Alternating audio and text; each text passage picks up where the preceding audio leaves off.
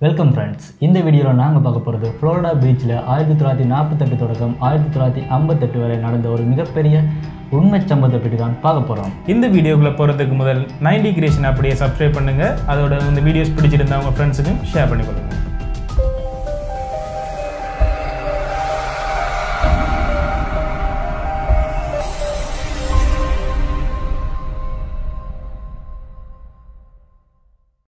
Florida பீச்சில் அதிகாலையில் வந்து அங்கே இருக்கிற மக்கள் வந்து ராட்சத பெண்கின்ற பாதத்தை பார்த்துருக்காங்க. இது கிட்டத்தட்ட பத்து வருடங்களாக அவங்க அவதானித்து வந்திருக்காங்க.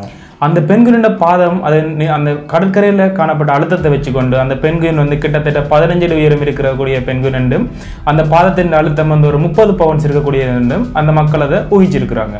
கிட்டத்தட்ட இதை பத்து வருஷமாக அவங்க பார்த்துட்டு இருந்ததால் மிகவும் பீதி அடைஞ்சிருக்காங்க. ஆனால் என்ன பிரச்சனைன்னா அந்த பெண்குயினை யாருமே இதுவரைக்கும் நேரில் கண்ணால் பார்த்ததில்லை. ஆயிரத்தி தொள்ளாயிரத்தி தொண்ணூறில் ரிவீல் பண்ணும்போது தான் அங்கே இருக்கிற மக்களுக்கு மிகப்பெரிய அதிர்ச்சி காத்திருந்தது. அது என்னண்டா அது ஆக்சுவலாக அது ஒரு பெண்குயின் இல்லை அது ஒரு தனிநபரால் செய்யப்பட்ட ஒரு ஃப்ராங்க்ன்றதான் அந்த அதிர்ச்சியான தகவல். இது கிட்டத்தட்ட நாற்பது வருஷமாச்சு இதை ரிவீல் பண்ணி இது ஒரு ஃப்ராங்க்ஸ் ஃப்ராங்க்ன்றதை கண்டுபிடிக்கிறதுக்கு. ஆனால் இன்னொரு முக்கியமான விஷயம் என்னென்னா அந்த ஃப்ராங்க் செஞ்சு கிட்டத்தட்ட பத்து வருஷத்துலேயே அந்த ஃப்ராங்க் செஞ்ச நபர் இறந்து போயிட்டார். அவர் இறந்த அதை வந்து ஒரு ஃப்ராங்க் ஷோன்றது ரிவீல் பண்ணியிருக்காங்க மக்களுக்கு. இந்த ஃப்ராங்கை செய்கிறதுக்காக அவர் என்ன செய்திருக்காருன்னா முப்பது பவுண்ட் இடையுடைய இரும்பிலான பெண்கிலான பெண்கினுண்ட ராட்சத பாதம் என்ற வடிவமைச்சிருக்கார். அதை வடிவமைச்ச பாதத்தை போட்டுக்கொண்டு அந்த பீச் ஃப்ளோரிடாவிலையும் ஃப்ளோரிடாவில் அருகில் இருக்கிற பீச்சஸ்லையும் கிட்டத்தட்ட நாங்கள் ஏற்கனவே சொன்ன மாதிரி கிட்டத்தட்ட பத்து வருஷமாக அவர் நடந்து திரிஞ்சிருக்கிறார். அந்த மக்களும் அதை பார்த்து பீதி அடைஞ்சிருக்காங்க. ட்ராவலிங் என்றாலே எல்லாருக்கும் ரொம்ப பிடிச்ச விஷயம். நாங்கள் இப்போ பார்க்க போகிற டாபிக் ட்ராவலிங்கை பற்றி தான் ஆயிரத்தி தொள்ளாயிரத்தி தொண்ணூற்றி நாலாம் ஆண்டு யுனைடெட் ஸ்டேட்டில் நடந்த ஒரு பாச போராட்டமான ட்ராவலிங்கை பற்றி தான் இந்த வீடியோவில் நாங்கள் பார்க்க போகிறோம் எழுபத்தி மூன்று வயது நிறைந்த அல்வின் ஸ்டைன் என்ற தம்பி எண்பது வயதான அண்ணனை பார்க்க போன பாச போராட்ட கதை தான் இது. ஆனால் நிறைய பாச போராட்டமான படங்களை வந்து நாங்கள் தமிழ் சினிமாவில் நிறையவே பார்த்துருக்குறோம். அப்படி பாச போராட்டமான மியூசிக்கை இங்கே நாங்கள் போட்டோம்னா எங்களை கொப்பரேட் அடிச்சிருவாங்க அதனால் நாங்கள் போடல. நாங்கள் இப்போ திருப்பி டொபிக்லேயே போகலாம் அயோவாவிலிருந்து வெஸ்டர்ன் விஸ்கான்சின்ஸ் வரைக்கும் கிட்டத்தட்ட இருநூற்றி நாற்பது கிலோமீட்டர் தூரத்தை அந்த தம்பி என்ன செஞ்சிருக்காருண்டா லைசன்ஸே இல்லாமல் கடந்து போயிருக்கிறார் இங்கே லைசன்ஸ் இல்லாமல் போனது டாபிக் இல்லை. அவர் போன வெஹிக்கிள் தான் இங்கே மெயின் டாபிக் அவர் யூஸ் பண்ண வாகனம் என்னண்டா? ஜோன் டியர் டிராக்டர் அந்த டிராக்டரோட ஹை ஸ்பீடு அஞ்சு மைல் அவர் தான்.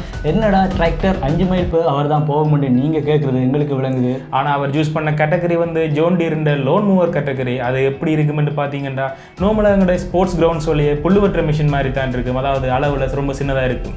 இந்த இருநூற்றி நாற்பது மைல இவர் கிட்டத்தட்ட ஆறு கிழமைக்கு மேலாக பயணம் செய்து போயிருக்கார்.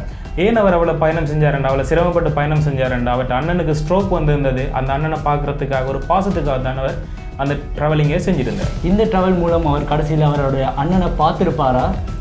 இந்த விஷயத்தை பற்றி நாங்கள் ஆன்லைனில் தேடும் பொழுது அண்ணன் கிடைக்கவே இல்லை. இந்த டிராக்டர் மட்டும்தான் கிடைச்சிது. உங்க நீங்கள் தேடி பாருங்க. உங்களுக்கு அது கிடைச்சதுண்டா? கீழே கமெண்ட்ஸில் வந்து சொல்லுங்கள் நாங்கள் இப்போ பார்க்க போகிறது ட்ரிஷ் விக்கர்ன்ற ஒரு பிளைண்ட் ஓதரை பற்றி தான் இந்த வீடியோவில் பார்க்க போகிறோம் இவன் ஒரு நோவல் எழுதியிருக்கிறா. அந்த நோவலில் வந்து இருபத்தாறு பக்கத்தை இங் முடிஞ்சது தெரியாமலே எழுதியிருக்கிறா. அந்த புக்கு நேம் பார்த்தீங்கன்னா கிராணி பேஸ் லெகசி இந்த சம்பவத்துக்கு பிறகு அந்த அவனோட ஊருண்ட லோக்கல் போலீஸ் ஒரு ஹெல்ப் செஞ்சுருக்காங்க. என்னென்னா அவங்களோட ஃபொரன்சிக் லேப்ட ஹெல்ப்போட அவங்க மிஸ் பண்ண வேர்ட்ஸ் எல்லாத்தையுமே ஃபைன் பண்ணியிருக்காங்க ஃபைன் பண்ணதோட மட்டும் இல்லாமல் அதை ஒரு புக்காகவுமே அதாவது கிரானிபஸ் லெகசின்ற புக்கை வந்து அவங்க பப்ளிஷ் பண்ணியிருக்காங்க இதில் வந்து சோகம் என்னென்னு பார்த்தீங்கன்னா இந்த புக்கை பப்ளிஷ் பண்ணும்போது அந்த லேடி உயிரோடையே இல்லை. அதாவது அந்த புக்கை அந்த லோக்கல் போலீஸ் பப்ளிஷ் பண்ணது எப்போன்னா அந்த லேடியோட அதாவது ட்ரிஷ்விகர் என்ற பிளைண்ட் ஓதர் என்ற டெத் டே அதாவது இறந்த நாளன்று தான் அந்த புக்கை வந்து அவங்க பப்ளிஷ் பண்ணி இருக்கிறாங்க.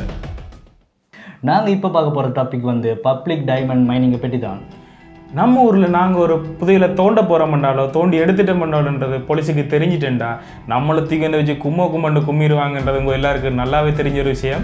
ஆனால் அமெரிக்காவில் இருக்கிற ஆக்னாஸ் மாநிலத்தில் வந்து அங்கே இருக்கிற மக்கள் இலவசமாகவே அங்கே வந்து டைமண்டை எடுத்துக்கொள்ளலாம். அதாவது பப்ளிக் டைமண்ட் மைனிங்ன்ற ஒரு ஆப்ஷன் ஒன்று அங்கே இருக்குது. அதாவது என்னென்னா அந்த அமெரிக்கான எந்த சிட்டிசன்ஸுமே அங்கே போய் அவங்க தேடி ஒரு டைமண்ட்ஸ் எடுத்துக்கொள்ளலாம் அப்படி தேடி இருக்கிற டைமண்டை கவர்மெண்ட்ஸுக்கு கொடுக்க வேண்டிய தேவையே இல்லை. இது வந்து ஓப்பன் பண்ண டேட் வந்து எங்களுக்கு தெரியலை. ஆனால் இங்கே வந்து ஆயிரத்துக்கு மேற்பட்ட டைமண்டை அங்கே இருக்க மக்கள் எடுத்திருக்காங்க. ஆனால் இந்த கவர்மெண்ட் என்ன பர்பஸுக்காக அந்த டை டைமண்ட் மைனிங்கை வந்து ஓப்பனாக விட்டுருக்காங்கன்னு தெரியல. ஆனால் அதுக்காக நாங்கள் நீங்கள் நினைக்கிற மாதிரி ஈஸியாக போயிடலாம். அந்த டைமண்ட் மைனிங்கில் டைமண்ட்ஸ் எடுத்துட முடியாது. ரொம்பவே கஷ்டப்பட்டு தான் டைமண்ட் மைன்ஸ் எடுக்கணும். ஏன் இப்படி பப்ளிக்காக அந்த கவர்மெண்ட் விட்டுருக்காங்கன்னு உங்களுக்கு ரீசன் தெரிஞ்சால் கீழே கமெண்ட் பண்ணுங்கள் எங்களோட நைன்டி கிரியேஷன்ஸில் வந்த வீடியோஸ் எல்லாம் உங்களுக்கு பிடிச்சிருந்தா லைக் பண்ணுங்கள் ஷேர் பண்ணுங்கள் சப்ஸ்கிரைப் பண்ணுங்கள் அப்படியே மறக்காமல் பக்கத்தில் இருக்க பெல் பட்டனை கிளிக் பண்ணுங்கள் பாய் ஃப்ரெண்ட்ஸ் பாய் பாய்